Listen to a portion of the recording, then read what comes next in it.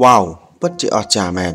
សវណ្ណបានវែកញែកនៅព្រះវិន័យជាមួយនឹងដេចគុណមួយអង្គធ្វើឲ្យមានអ្នកគ្រប់គ្រងមានការស្ងើចសរសើរទៅនឹងចំណេះដឹងខាងផ្នែកព្រះវិន័យរបស់ព្រះសង្ឃពិតជាមិនធម្មតានោះទេ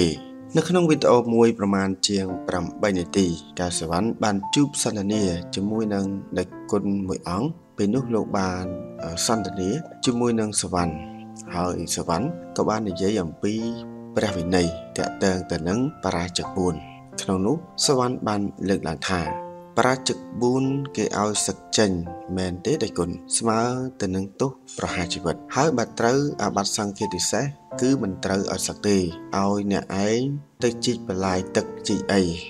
ក្នុងនោះដៃគុណក៏បានតបសង្កេតការថាទោសបរាជិកមិនមែនស្មើទោសប្រហារជីវិតទេបើច្បាប់បច្ចុប្បន្នមិនមានផងនឹង សវណ្ណបានឆ្លើយតបយ៉ាងលឿនវិញថា តែច្បាប់ព្រះមានឯគុណច្បាប់ប្រពុតមានបរាជិក4មានអ្វីខ្លះឯគុណការចាប់រំលោភកបិលកុមារថេរីដើរបាន7ជំហានត្រូវប្រធរណីស្រូបអញ្ចឹងស្មើនឹងកាត់ទោសប្រហារជីវិតទេវទត្តមានគម្រោងធ្វើទុកជាមុនធ្វើគុតព្រះសម្មាសម្ពុទ្ធ ដើរបាន7ជំហានប្រធានីក៏ស្រូបទៅអានេះកាត់ទោសប្រហារជីវិតតេះឌីលប្រពុតគឺ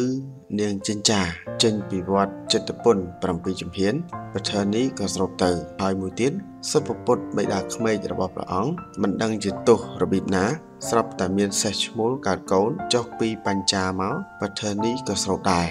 អញ្ចឹងច្បាប់អព្យាក្រឹតអត់រើសអើងឥតលំអៀងសវណ្ណក៏បានសួរដេចគុណទៅវិញថាតើការអនុវត្តច្បាប់ការគោរពច្បាប់យល់ឃើញបែបណាដែរដេចគុណដោយដេចគុណមិនបានឆ្លើយតបដេចគុណក៏បានសួរទៅសវណ្ណវិញថាចុះសម្រាប់បងយល់យ៉ាងម៉េចដែរសវណ្ណបានឆ្លើយទៅវិញថាខ្ញុំកណានិយាយតែមួយម៉ាត់ទេ គឺប្រទេសជាតិរងរឿងហើយបន្ទាប់ពីពិភាក្សាវែកញែកហើយសវណ្ណក៏បានលាដេចគុណទៅមើលប្រាសាទអង្គរបន្តទៀត សរុបមកវិញការពិភាក្សាដេញដោលជាមួយនឹងដៃគុណអង្គនោះគឺគ្រាន់តែជាការវែកញែកនៅការអនុវត្តច្បាប់និងការប្រព្រឹត្តខុសរបស់បុគ្គលដែលមិនគោរពច្បាប់តែប៉ុណ្ណោះហើយក្នុងនោះសវណ្ណក៏បានវែកញែកអំពីវិន័យនៅក្នុងព្រះពុទ្ធសាសនាដែរគឺទោសបរាជិកដែលមានន័យថាគឺជាទោសធ្ងន់បំផុតនៅក្នុងព្រះពុទ្ធសាសនាបាទបាទហើយតើតើទៅនឹងអត្ថបទព័ត៌មាននេះ